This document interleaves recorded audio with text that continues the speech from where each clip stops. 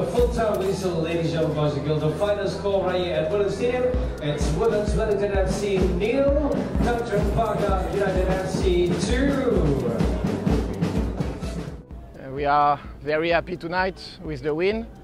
I would like to congratulate the players because uh, during the time we didn't win, they keep fighting and training hard.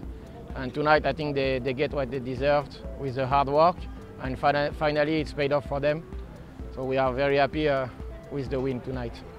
Hey, hello everybody. Um, tonight I want to congratulate my teammate because they perform well. They never give up and they did a good, very good match on hard game. And also I'm very happy to, to score tonight because this is a long time I never score. My last goal is in the S League, is uh, the, the three goal against Young Lions. And after in the RHB Cup, but tonight I'm very happy to, to score. And uh, I want to dedicate the, the goal for my teammates because everybody played very hard tonight. And see you the next game in Queenstown. Hi everyone, uh, thank you for your support, for coming down, watch us play. We finally win 2-0 against Woodland.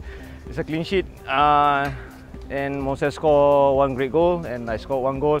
But important is the three points and the clean sheet. We the, the team did very well. We put a lot of effort. We play as a team and we will carry on from here. And we look forward for next game. Thank you.